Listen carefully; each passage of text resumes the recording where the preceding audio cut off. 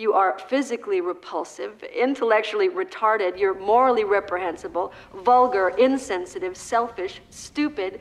You have no taste, a lousy sense of humor, and you smell.